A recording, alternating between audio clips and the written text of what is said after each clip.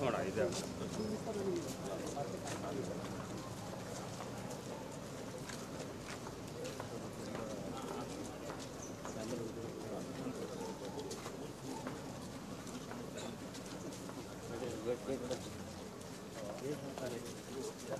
ಆ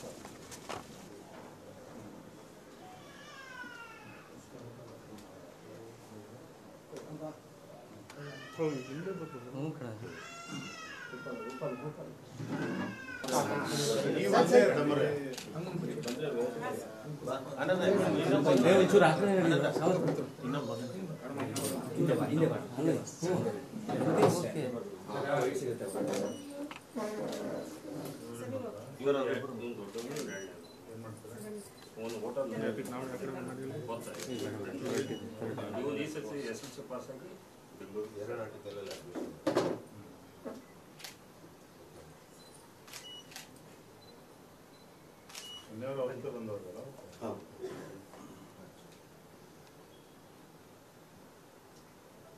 ಆನಂದ ಫೋನ್ ಮಾಡಿದ್ರು ಗೊತ್ತಾಯ್ತು ಅವತ್ತು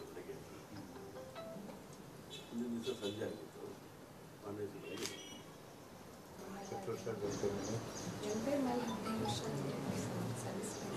ಕೆಲಸ ಮಾಡ್ತಾರೆ. ಕ್ಲೋಸ್ ಆಯ್ತು. ಅವಾಗ ಪರ್ಮನೆಂಟ್ ಎಲ್ಲರೂ ಶಿಫ್ಟ್ ಮಾಡಿ ಬೇರೆ ಬೇರೆ ಡಿಪಾರ್ಟ್ಮೆಂಟ್ ಕೆಲಸ ಮಾಡ್ಕೊಂಡು ಪರ್ಮಿಟ್ ಆಗಿದೆ. ಪರ್ಮಿಟ್ ಆಗಿ ಒಂದು ವರ್ಷ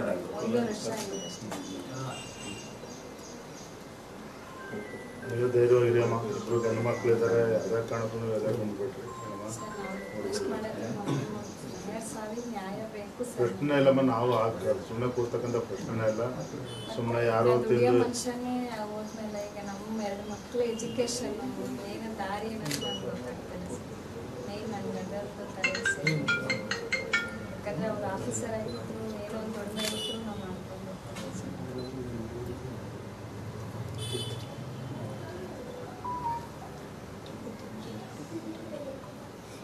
ರಾಜ್ಯ ಸರ್ಕಾರಕ್ಕೂ ಒತ್ತಾಯ ಮಾಡ್ತಾ ಇದ್ದೀವಿ. ಪರಿಹಾರ ಕೊಡಬೇಕು ಅಂತೇಳಿ ಅಧ್ಯಕ್ಷ ಪಕ್ಷದಿಂದ ಒಂದು ನಿಮ್ಮ ಪಾಪ ಯಜಮಾನ್ರ ಮೇಲೆ ಇನ್ನೊಸೆಂಟ್ ಮೇಲೆ ಆರೋಪ ಮಾಡಿ ಆ ರೀತಿ ಪ್ರಶ್ನೆ ಇಲ್ಲ. ಯಾರು ಸಿಗಲೇಬೇಕು ಅದಕ್ಕೆ ನಾವು ಹೋರಾಟ ತೆಗೆದುಕೊಳ್ತೀವಿ. ಡಿಸ್ಟ್ರಿಕ್ಟ್ ಮ್ಯಾನೇಜರ್ ಲೆವೆಲ್ ಡ್ರೈವ್ ತೊಗೊಂಡು ಹೋಗಿದ್ದಾರೆ ಅಲ್ಲ ಸಿ ಸಿ ಎ ಅಧಿಕಾರಿಗಳು ಅಷ್ಟು ಗಡಿಬಿಡಿ ಮಾಡ್ಕೊಂಡು ಬಂದಿರೋದೇ ಏನೇನಿದೆ ತಗೊಂಡು ಹೋಗ್ಬೇಕು ಅನ್ನೋದು ಇದರಲ್ಲಿ ಏನು ಭಾಳ ಸದುದ್ದೇಶ ಇದೆ ಅಂತ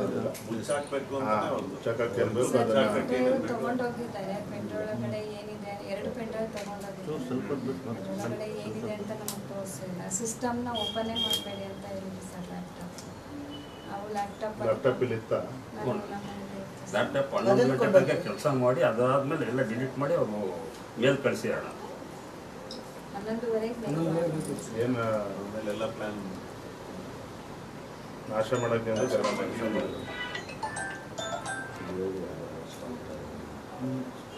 ನಮ್ಗೆ ಅಲ್ಲಿ ಏನು ನಡೆದಿದೆ ಅನ್ನೋದು ಗೊತ್ತಾಗಲಿ ಸರ್ ನಮ್ಗೆ ಅಷ್ಟು ಇಷ್ಟೊಂದು ಪ್ರೆಷರ್ ಹಾಕೊಂಡು ಅವ್ರು ಆತ್ಮಹತ್ಯೆ ಮಾಡ್ಕೊಂಡು ಅಷ್ಟು ಆಮೇಲೆ ಇನ್ನೊಂದು ಯಾ- ನೂರಾರು ಕೋಟಿ ರೂಪಾಯಿ ಯಾರೋ ಇಬ್ರು ಮೂರು ಜನ ಅಧಿಕಾರಿಗಳು ಹಂಗೆ ಮಾಡಕ್ ಸಾಧ್ಯನೇ ಇಲ್ಲ. ಮಾಡಿ ಪಾಪ ನಿಮ್ಮ ಯಜಮಾನ್ರ ಮೇಲೆ ಯಾರೋ ತಪ್ಪು ಹೊರಸಕ್ ಪ್ರಯತ್ನ ಮಾಡಿದ್ರು ಡಿಸ್ಟಿಕ್ ಡಿಸ್ಟ್ರಿಕ್ಟ್ ಮ್ಯಾನೇಜರ್ ಪ್ರಯತ್ನ ಮಾಡಿದ್ದಾರೆ. ಇದು. ಪ್ರಶ್ನೆನೇ ನೂರಾರು ಕೋಟಿ ಆ ಥರ ಯಾರು ಮಾಡಕ್ ಸಾಧ್ಯ ಆಮೇಲೆ ಹಿನ್ನೆಲೆ ಬೇಕಲ್ಲ ಆ ಥರ ಮುಂಚೆನಾರ ಘಟನೆಗಳಾಗಿದೆ ಮತ್ತೊಂದು. ಅಣ್ಣ ಫಸ್ಟು ಇವ್ರು ಏಳು ಗಂಟೆ ಪೊಲೀಸ್ ಕಂಪ್ಲೇಂಟ್ ಎಲ್ಲ ಕೊಟ್ಟಾದ್ಮೇಲೆ ಪೊಲೀಸರು ಬಂದು ಮದುವೆ ಮಾಡ್ಕೊಂಡ್ರು ಅದಾದ್ಮೇಲೆ ಮುಚ್ಚಿಂದ ಆದರು. ಮತ್ತೆ ಎಲ್ಲ ಪೋಸ್ಟ್ ಮಾರ್ಟಮ್ ಆದಮೇಲೆ ರಾತ್ರಿ ಹನ್ನೊಂದು ಗಂಟೆಗೆ ಇವ್ರು ಕರ್ಕೊಂಡು ಹೋದ್ರು ಎಫ್ ಐ ಆರ್ ಆಗಿಲ್ಲ ಅಂತ. ನಾನು ಸತಿ ನಿಮಗೆ ರಾತ್ರಿ ಫೋನ್ ಮಾಡಿದ್ದೆ. ನಾನು. ಮಾತಾಡಾದ್ಮೇಲೆ ಪೊಲೀಸರು circle inspector D S P ಹೇಳಿದ್ಮೇಲೆ ಡಿ ಎಸ್ ಪಿ ಆಮೇಲೆ ಬಂದಿದ್ದಾಳೆ ಆಮೇಲೆ ಬಂದು ರಾತ್ರಿ ಎರಡು ಗಂಟೆ ತನಿಖೆ ಮಾಡಿದ್ದು. ಎರಡೂವರೆ ಎರಡೂವರೆ ಮರು ಹೇಳಿಕೆ ಅಂತೇಳಿ ರಾತ್ರಿ ಎರಡೂವರೆ ತನಕ ಬರ್ಸ್ಕೊಂಡೋಣ ಮತ್ತೆ ಮಾರನೇ ದಿನ ಬೆಳಗ್ಗೆ ಇಲ್ಲ ಅದು ಸರಿಯಾಗಿಲ್ಲ ಅಂತ ಮತ್ತೆ ಬಂದು ಬೇರೆ ಮತ್ತೆ ಸೈನ್ ಏನಿಲ್ಲ ಐದು ಹೌದು, ಅದಕ್ಕೆ ಇದಕ್ಕೆ ಆಮೇಲೆ changes. ಒಂದೇ ಪೇಜ್ ತಂದು ಎಲ್ಲ ಮಾಡ್ಕೊಳ್ಳೋದು ಅನ್ನೋ ಗಲಾಟೆ ಆಗ್ತದೆ ಚನ್ನಬಾಸ್ ಅಡ್ಪಣ್ಣ ಬಂದರು ಮೇಘರಾಜ್ ಅವರು ಬಂದ್ರು ಎಲ್ಲರೂ ಬಂದಾದ್ಮೇಲೆ ಆಮೇಲೆ ವಾತಾವರಣ ಬೇರೆ ಆಯ್ತು. ತಕ್ಷಣಕ್ಕೆ ಆ ತಕ್ಷಣಕ್ಕೆ ಇದೆಲ್ಲ ಆದ್ಮೇಲೆ ಇಪ್ಪತ್ತೈದು ಕೋಟಿ ವಾಪಸ್ ಬಂತು ಎಲ್ಲಿಂದ ಬಂತು ಯಾವ ಅಕೌಂಟಿಂದ ನಮ್ಗೆ ಬೇಕಲ್ಲ. ಯಾರು ತಕ್ಷಣಕ್ಕೆ ವಾಪಸ್ ಬಂದಿದೆ ಮೀಡಿಯಾದವರೆಲ್ಲ ಸಹಕಾರ ಕೊಟ್ಟಾಡ ಭಾರಿ ಸಹಕಾರ ಕೊಡಿ ಮೀಡಿಯಾದವರು ಕೂಡ ಸಹಕಾರ ಕೊಡಿ ನೀವು ಧೈರ್ಯವಾಗಿರಮ್ಮ ನಾವೆಲ್ಲ ಇದು ಗಟ್ಟಿಯಾಗಿದ್ದೀವಿ. ನಮ್ಮ ಮಕ್ಕಳದೆಲ್ಲ ತಲೆ ಕೆಡಿಸ್ಕೊಬಿಡಿ ಒಂದು ನಿಮಗೆ ನ್ಯಾಯ ಸಿಗಬೇಕು. ಮಕ್ಳಿಗೂ ಅನನುಕೂಲ ಆಗಬಾರ್ದು ಅದನ್ನ ಮಾತಾಡ್ತೀನಿ. ನನಗೆ ಅಲ್ಲಿ ಏನು ನಡೆದಿದ್ದು ನಿಜ ಗೊತ್ತಾಗ್ಬೇಕು ಸರ್ ಖಂಡಿತಮ್ಮ ಇಷ್ಟೊಂದು ಅವಮಾನ ಅಂತಾನೆ ಬರ್ ಅವಮಾನ ಅಂತಾನೆ ಲೆಟ್ರಲ್ಲಿ ಬರ್ತಾರೆ ಲಾಸ್ಟಿಗೆ ಅವರು. ಯಜಮಾನ್ರ ಮೇಲೆ ಆರೋಪ ಹಾಕಿ ತಪ್ಪಿಸ್ಕೊಳಕ್ ಬಿಡೋ ಪ್ರಶ್ನೆನೇ ಇಲ್ಲ. ಇದು ಗಟ್ಟೆ ತೆಗೆದುಕೊಳ್ತೀವಿ ಇವತ್ತಿಂದ ನಾವು ಹೋರಾಟ ತೆಗೆದುಕೊಳ್ತೀವಿ ಮಾತಾಡ್ತೀವಿ. ನೀವು ಧೈರ್ಯವಾಗಿರಿ ದಯವಿಟ್ಟು ಗಂಡು ಮಕ್ಕಳಿದ್ದಾರೆ ನೀವು ಯಾವುದೇ ಕಾರಣಕ್ಕೆ ಯಾವುದೇ ಯಾವುದೇ ಬಂದು ನಾವೆಲ್ಲ ಇದು ಧೈರ್ಯವಾಗಿರಿ.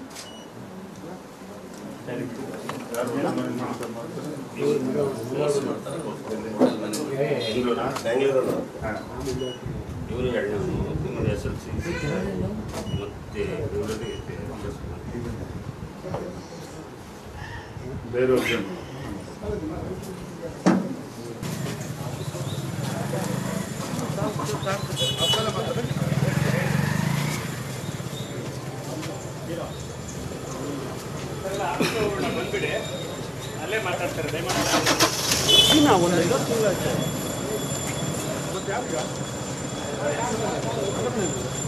ಎಲ್ಲ ದಾರಿ ಬಿಡಿ.